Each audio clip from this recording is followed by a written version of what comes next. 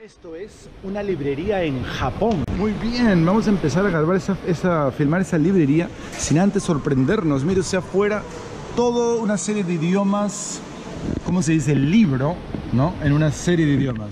Pero no sé en el español, son todos idiomas eh, asiáticos, absolutamente todo. Ah, no, hay checoslovaco, polaco, pero no hay español, tampoco inglés, qué curioso. No hay ningún idioma, pero es el libro en todos esos idiomas. Aquí está, al otro lado de la entrada. Ahí está el libro en diferentes idiomas. Libro italiano, spanish, portugués, por supuesto, en todos los idiomas del mundo. ¿Cómo se dice el Vamos libro? a- Uy, yo estoy que me caigo. Vamos a entrar. Afuera vemos que uno puede dejar sus paraguas. Acá no hay seguridad. En otros lugares hemos visto que ponen seguridad. Acá no. Tú dejas su paraguas tranquilamente, entras. Tienes tu bolsita de plástico también. Y vamos a entrar a esa librería donde yo sospecho no puedo hablar muy fuerte. Pero bueno, yo antes de entrar a librería y mostrar esos, mayo- esos colores, esa intensidad, esos diseños, yo les tengo que decir que cuando yo era niño, cuando yo estaba en primaria en el colegio, yo estudié en el colegio en el Perú, un colegio que se llama San Antonio de Padua, ¿ya? Y en ese colegio, en la mañana, porque yo en la mañana, había, la mañana había gente que estudiaba en la tarde, colegio en la mañana, el 40% de mis compañeros eran nietos o hijos de japoneses, ¿ya?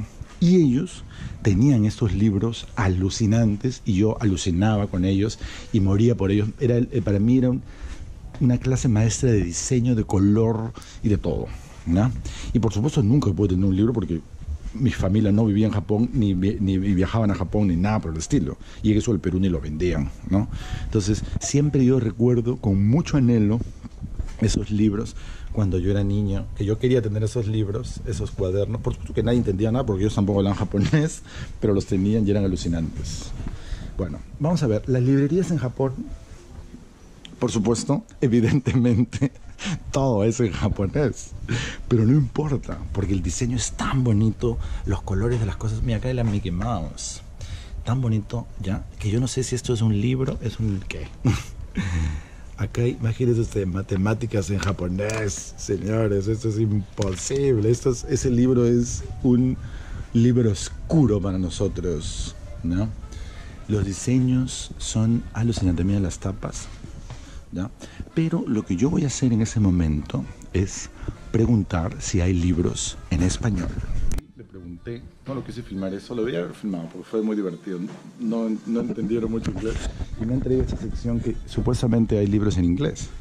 ¿ya? Entonces, ese fue el libro que me mostró. ¿Es un libro en inglés, señores? Sí.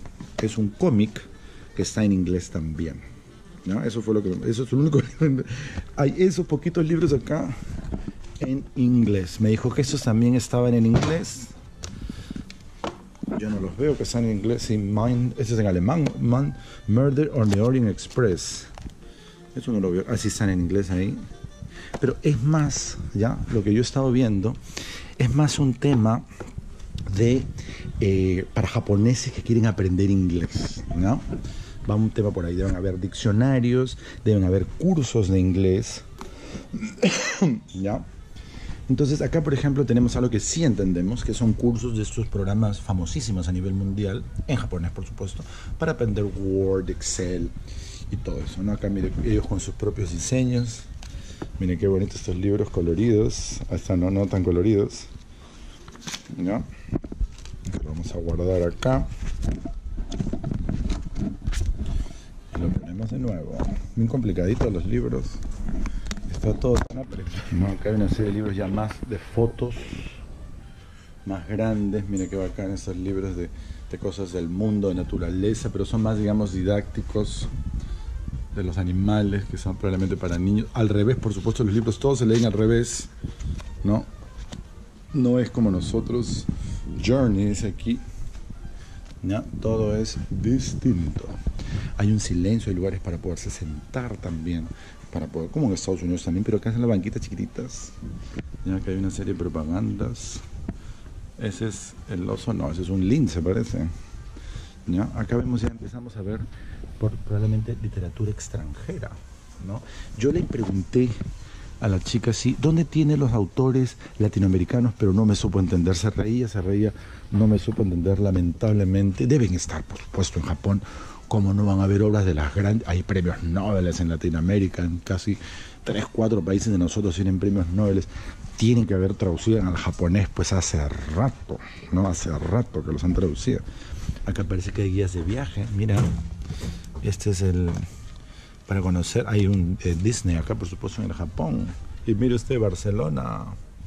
Ahí está, son revistas de viaje. Mira que el diseño japonés dentro de las revistas es simplemente alucinante, señores. El mundo entero se debería copiar de ellos. Todo eso es de Barcelona, mira qué bacán. Para conocer bien todo, como son ellos, ¿no? Como son muy gente muy metódica, muy metida en el tema, todo lo quieren saber, todo lo conocen. Entonces esos libros, travel, estos son libros de viajes guías de viajes. Yo soy coleccionista de guías de viajes, pero por supuesto no voy a poder comprar ninguna porque ¿qué va a hacer no va a entender nada? Pero deben ser alucinantes, ¿no? Mira que bacán esas guías de viajes también chévere. Y estas revistitas, mira, que bacán adentro, mira, el diseño es tan paja, pero qué pena que no se entiende nada. Ahí te explican todo. Mira qué bacán de los diferentes lugares del... Esto es de acá del mismo Japón, si no me equivoco. ¿No? Son cosas de acá, son revistas de viaje Mira, Osaka, Kobe, Kyoto. No, vamos a ver si esta está en inglés. En inglés. No, en japonés. Todos en japonés. Pero mire esos diseños, esa calidad de primera. Ahora, los precios no creo que sean tan baratos porque ese es un material caro. No, miren qué bonitos esos colores. Ahí están las guías. Lonely Planet no habrá sacado Lonely Planet guías en japonés, parece que no, y si lo están. Taiwán, mira la guía para Taiwán, ellos tienen pues sus propias cosas, sus propias editoriales. Los japoneses, hay que mencionarlo, hay que decirlo, y eso es algo que no tiene por qué nadie sentirse ofendido, ni tiene por qué nadie enojarse con ese comentario, pero los japoneses ellos siempre no sé si la palabra es discriminación o es segmentación o es ghettoización, sí que existe la palabra, pero ellos, mismos se casan entre ellos mismos, consumen sus propios productos, son bien metidos en su propia cultura, ¿ya? Eh, no son muy curiosos por afuera y si lo son, regresan muy rápido a su cultura. Yo no conozco ningún japonés, yo conozco muchísimos japoneses, señores, muchísimos japoneses. Eh, en el Perú, por supuesto, nacidos Imagínense, nacidos y criados en el Japón ya de, dos, tres generaciones y ellos se casan entre ellos.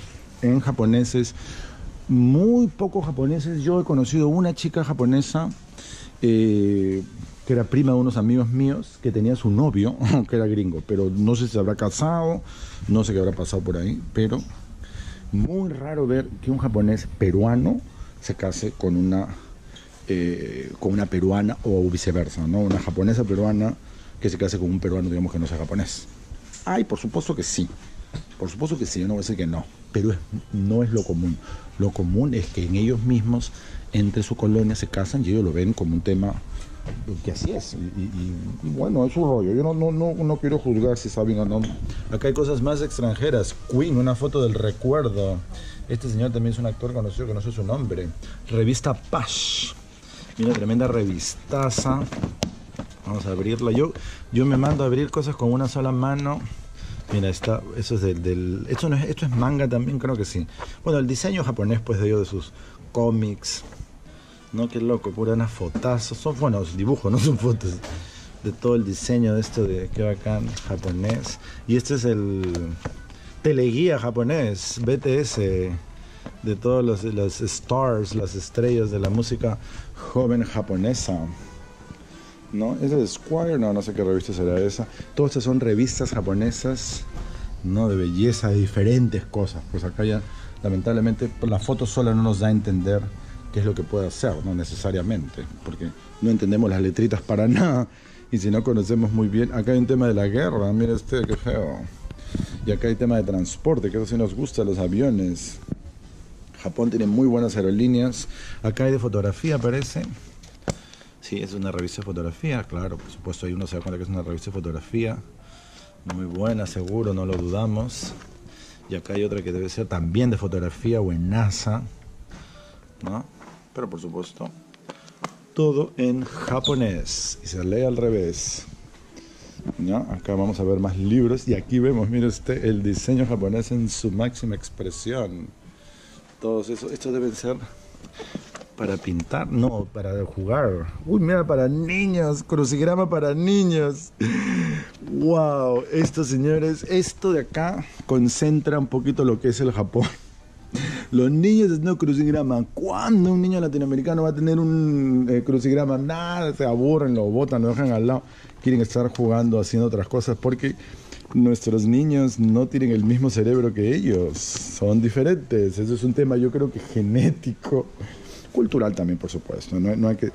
Es cultural, es cultural, eso no es, no es genético. Esto ellos, claro, si lo tienen ahí de chiquito y está con ese atractivo y el papá se lo compra, el papá se lo muestra, lo van a hacer, ¿no? Y, y, sobre todo, no solamente eso, no es solamente su papá, sino el papá de los primos, el papá de los amigos del colegio, el papá de los chicos de la otra promoción, el papá de los del vecinito. O sea, es un tema cultural, pues, ¿no? Al fin y al cabo, es un tema cultural, no solamente ellos. En el Perú, en Chile, en Argentina, quizás tú que te gustan los crucigramas solamente a tu niño y tu niño le gusta. Pero cuando va al colegio, va a ver al amigo que está leyendo Condorito. Entonces al final termina leyendo Condorito por... Así es, así es la cultura. ¿no? Así es el tema cultura. Eso es cultural. Mire, Queen, vamos, segunda vez que vemos al Queen. Bueno, Queen es por supuesto un máximo de máximos. En todo veo yo estos, no sé qué cosa, estos papelitos adentro. No sé qué serán. Todos los libros veo estos papelitos. Y no son los marcadores, serán los precios. Hay un montón de información este es Ultra 7. No sé qué será, pero en todos veo ahí una serie de papelitos metidos. Neo Geo, ¿qué es esto? Muy bien, entonces eh, vamos a seguir filmando un poquito más. Eso es lo que me gusta filmar, esas cosas. Eh, estos son de cómics, debe ser cómics. Pero en paquete, mira, vienen. Ah, no son grandazos, unos comicsazos. Y viene adentro un regalito, algo. Algo viene adentro, por eso han puesto la bolsa ahí. Y acá hay revistas. Hello, arigato kosaima. Oh, sorry. La señora me ha callado, sorry. Sí, pues yo estoy haciendo bulla alto y estamos en una, no una biblioteca, pero una librería. La señora muy respetuosamente me ha dicho, be quiet, please. Así que bueno, ahí mira las japonesas, ¿qué te crees? Las japonesas también muestran. Muy bien, entonces vamos a terminar el video porque de un momento a otro Roberto Viajero se ha vuelto muy respetuoso de las normas. bueno, como dice el dicho, pues a donde fueres, haz lo que vieres. Acá vamos a filmar ya al final. Esto debe ser lo más popular. Los cómics, mira, estos son cómics que hasta ahorita no sale, hay diferente, la gente muere por los cómics en Japón, ¿no? Hay todo un tema de los cómics, estos son cosas a la entradita, nomás, porque ya estamos casi en la salida. En la entradita son algo que se usa mucho. Esto siempre es lo que mayor rotación tiene. Entonces nosotros nos vamos, vamos a despedirnos de este pequeño video. Las puertas, como siempre en Japón, se abren ahí de lado a lado para no ocupar espacio. Entonces, claro, yo estaba hablando muy fuerte y tiene razón la señora primera vez que le doy la razón, no me corrió, y me dijo, be quiet please, así en inglés, muy chévere, Bueno, entonces eso fue una librería en el Japón y como siempre les digo, nos vemos en un siguiente video. Adiós.